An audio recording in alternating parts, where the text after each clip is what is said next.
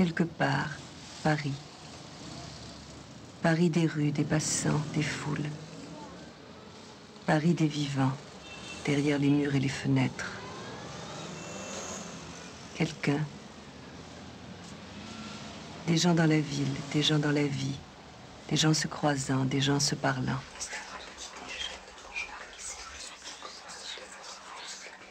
Des gens qui s'aiment, des gens qui passent, s'ignorant, qui se découvrent et qui se perdent.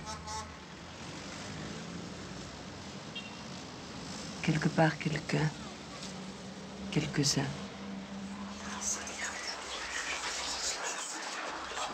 Quelques-uns, le Lébellon et Roland Dubillard, des gens au carrefour, Hugues Kester et Christine Singos, des ouvriers, des étudiants, des inconnus qui passent quelque part.